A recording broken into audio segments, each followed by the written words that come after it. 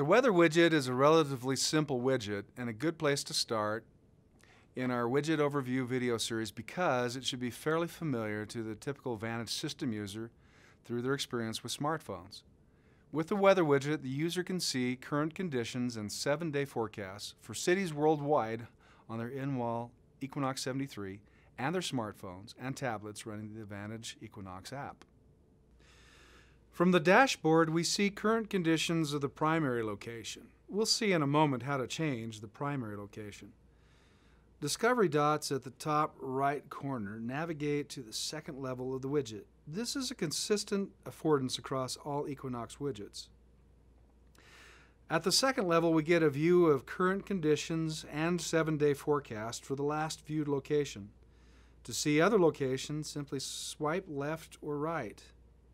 Now notice the tags along the sides indicating next and previous locations. No tag means it's the end of the list. Rather than swiping through a long list, there is a shortcut to the location list accessed by tapping the name of the currently viewed location. Notice the right arrow to the right, the down arrow to the right of the name suggesting this affordance. Here, current conditions of all locations can be viewed. If the list is longer than can be viewed on a single page, swipe to see more. To return, tap outside of the central ribbon. To view another location, tap it. To edit locations, tap the Edit icon at the top right of the screen.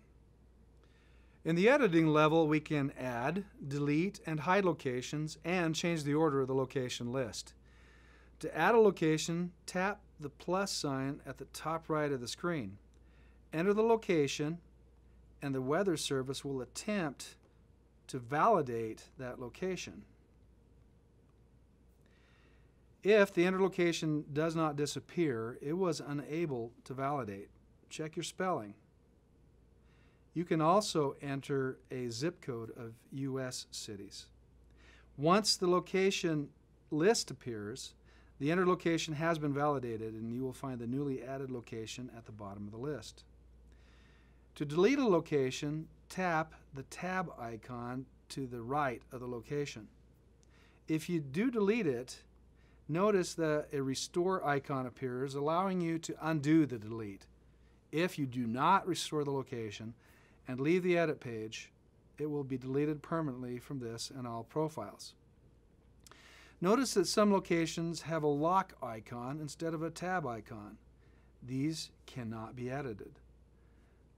These are locations that were entered into the project file from within Design Center. While not editable, they can be hidden from any profile. To hide or show a location, click anywhere on the button between the name and the check mark. An unchecked check mark means it is hidden. Showing or hiding a location applies only to the current profile. To rearrange the order of the location list, press the positioning icon to the left of the location and drag and drop it to the position that you desire in the list. The order of the list determines the order in which the locations will be viewed from the second level. The location in the first position in the list will be the primary location, the one viewed from the dashboard level. To exit the edit mode, tap the up arrow at the right, top right of the screen. We'll take a moment to observe the results of our edits. If we press the uh, name of the current location, we can see the list. We see that Salt Lake is in the first position because of our moving it to that location. We see that Miami and Chicago are no longer on our list. We see that Bozeman now is. If we go to the edit level, we see that Miami is not showing up because it's simply hidden. Chicago is gone because we deleted it.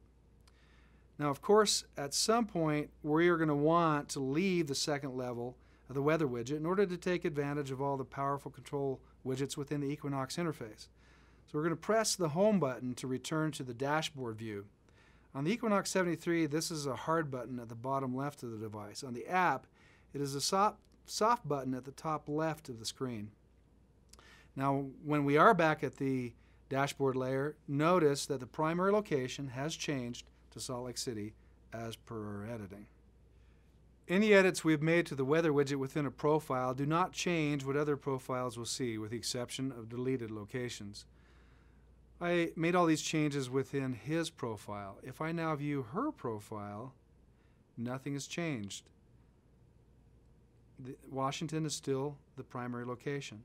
The locations I added are viewable, but not until we select them in the list. Now, profile-specific options that affect the weather widget include language, Celsius versus Fahrenheit, and 24 versus 12-hour clock.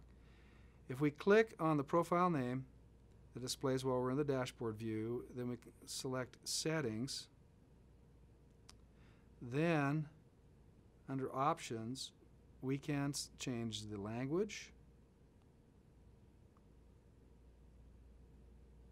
24 hour clock, Celsius. Any of the changes that we make will cause the app to reset in order to apply them. While it is a great feature that the user can add any city of interest worldwide, if the Vantage integrator has a list of cities known to be of interest to the homeowner, they can be added to the system quite quickly from within Design Center. Within the programming view, if we right click on a category, then we can add weather. We simply change its name and its location. The caveat when doing this is that there is no immediate validation of the location. So if you misspelled or used, for example, London, England instead of London, United Kingdom, you won't know of the error until the file is loaded and the location doesn't show any data. If you contact Vantage support, you can get a library of verified locations that you can add by simply dragging and dropping into the project. Locations added to the file in this location show up in the location list, as we have seen before, with a lock icon so that a user cannot edit them. Because of the vertical orientation of the phone-based app, there are just a couple of differences in the way it operates in the second level view. Each location shows the seven-day forecast but not the current condition data. There are no side of screen tags indicating the previous and next locations, but instead there's a position bar at the bottom of the screen. We hope you've benefited from this overview of the Vantage Equinox weather widget. Now watch for more videos in this series to cover the remaining Equinox widgets.